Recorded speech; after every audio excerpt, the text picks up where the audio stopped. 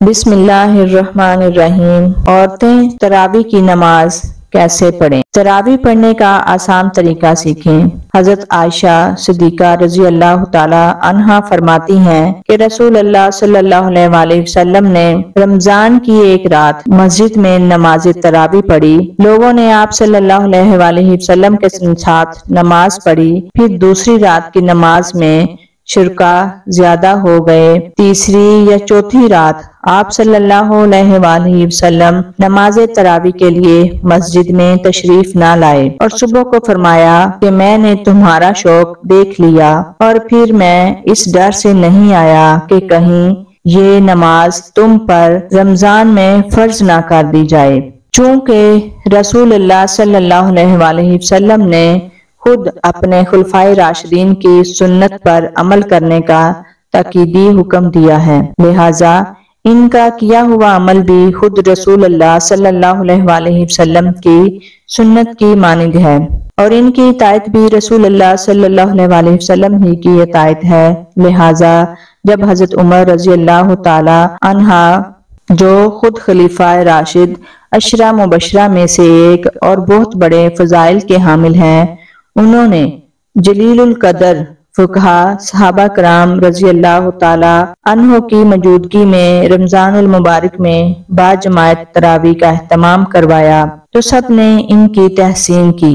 किसी एक ने भी नकीर नहीं की, इसलिए तरावी की नमाज़ सुनत मुकदा है। हजूर वसल्लम के बाद सैदिना अबू बकर सदीक रज़ी अल्लाह तहो के दौरे खिलाफत में दाखिली और खारजी फितनों की कसरत और मुद्दत खिलाफत की किल्लत की बिना पर इस सुन्नत अजीमा के क्याम का मौका न मिल सका। लेकिन सैदिना उम्र फारूक रज़ी अल्लाह तहो ने अपने दौरे खिलाफत में इस सुन्नत को, जो आरिस की बिना पर मकूफ थी, लेकिन अब वो आरिस चूँकि बाकी नहीं रहा था, जारी फरमा दिया। मुला अली कारी अलामा तेबी के हवाला से नकल करते हैं, अगरचे तरावी बाजमायत हज़रत अबू बकर सदीक रज़ी अल्लाह तहो के जमाना में नहीं थी। लेकिन चूँकि हजूर वसल्लम ने इसे पढ़ा था और हज़रत उमर रज़ी अल्लाह तहो इस, इन लोगों में से थे जो इस हकीकत से बाखबर थे। उन्होंने दायमी तौर पर जारी फरमा दिया तो उन्हें इसका भी अजर है और क्यामत तक जो लोग अमल करते रहते हैं, इनका भी अजर है। मरकात बुखारी शरीफ में हज़रत आयशा रज़ी अल्लाह तहा की रवायत में है कि एक रात रसूल अल्लाह वसल्लम मस्जिद में तशरीफ़ लाए और नमाज़ पढ़ी। लोगों ने भी आप वसल्लम के साथ नमाज़ पढ़ी। इन नमाजियों ने सुबह होने पर दूसरे लोगों को भी बताया तो दूसरी रात मजमा बहुत बढ़ गया और हज़रत मोहम्मद वसल्लम के साथ लोगों ने नमाज़ अदा की। तीसरी रात बातें सुनकर लोग बहुत इकट्ठे हो गए। हत्या के मस्जिद की तंगो अमानी ज़ाहिर होने लगी। इस शब सुबह की नमाज़ से फारिग होकर आ हज़रत वसल्लम ने लोगों पर मुतवजा होकर शाद फरमाया कि मैं खतरा महसूस करता हूँ। कि कहीं तुम पर ये नमाज़ फ़र्ज़ ना कर दी जाए और फिर तुम इसे पढ़ ना सकोगे। तरावी की नमाज़ जिस तरह मर्दों के लिए पढ़ना ज़रूरी है, इसी तरह औरतों के लिए भी इस नमाज़ को पढ़ना ज़रूरी है। बहुत सी खातन इस गलत फहमी का शिकार होती हैं, वो ये समझती हैं कि शायद तरावी की नमाज़ सिर्फ़ मर्दों के लिए ही ज़रूरी है। औरतों के लिए इस नमाज़ को पढ़ना ज़रूरी नहीं। हालाँकि ये बहुत बड़ी गलतफहमी है। याद रखिएगा, तरावी की नमाज़ सुनते मौकदा है, बगैर किसी शरय उजर के। अगर इसको छोड़ेंगे तो गुनाहगार होंगे, मर्द भी पढ़ेंगे और औरतों के लिए भी इस नमाज़ को पढ़ना ज़रूरी है। अगर औरतें इस नमाज़ को बगैर किसी शरय उजर के छोड़ेंगी तो गुनाहगार होंगी। इसलिए औरतें भी इस नमाज़ को ज़रूर पढ़ें। अब मसला ये है कि मर्द हजरात तो मसाजिद चले जाते हैं, जहाँ पर बाकायदा तरावी की नमाज़ जमात के साथ अदा की जाती है। लेकिन खातन घर के अंदर इस नमाज़ को किस तरीके से पढ़ें? इस नमाज़ के पढ़ने का तरीका क्या है? इस नमाज़ की नीयत कैसे करेंगे? इस नमाज़ में कौन सी सूरत पढ़ी जाएगी? सबसे पहले तो हम ईशा के चार फ़र्ज़ पढ़ेंगे। ईशा की नमाज़ के चार फ़र्ज़ पढ़ने के बाद फिर हम दो सुन्नत मुकदा दो सुन्नत अदा करेंगे। इसके बाद वितर नहीं पढ़ेंगे, फिर बीस रकत तरावी की नमाज़ अदा की जाएगी। बीस रकत तरावी की नमाज़ पढ़ेंगे, बीस रकत तरावी की नमाज़ पढ़ने के बाद फिर वितर पढ़ेंगे। चार फ़र्ज़ पढ़ लिए दो सुन्नत पढ़ ली, इसके बाद फिर बीस रकत तरावी की नमाज़ है और वो बीस रकत तरावी रकत दो दो रकत करके पढ़ी जाएगी। यानी दो रकत पढ़ के सलाम फेर देंगे। फिर इसके बाद दो रकत इसी तरह से दो दो रकत करके बीस रकत तरावी की नमाज़ अदा करेंगे। अगर आप चार रकत पढ़ती हैं तो तब भी कोई हर्ज नहीं है। नमाज़ हो जाएगी, लेकिन बेहतर नहीं। मुनासिब ये है कि दो दो रकत करके पढ़ी जाए। अब दो दो रकत करके पढ़ लें, या चार चार हर रकत के बाद तरावी की दुआ को पढ़ेंगे। अगर आपको दुआ जुबानी नहीं आती तो इसको देखकर भी पढ़ सकते हैं।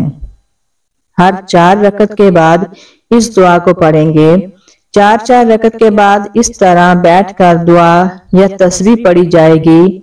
बीस रकत इसी तरह से मुकम्मल होगी। अब मसला ये है कि इन बीस रकतों में हमने कौन सी सूरतें पढ़नी है?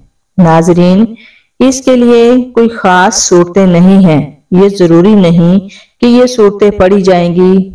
जो भी आपको कुरान पाक की सूरतें आती हैं, कोई सूरतें आपको आती हैं उसमें से दस सूरतें हैं वो दस पढ़ लें। पाँच आती हैं तो पाँच पढ़ लें। जब वो दस सूरतें खत्म हो जाएँ, अभी तरावी की नमाज़ बाकी है तो फिर दोबारा से इनको दोहरा लें।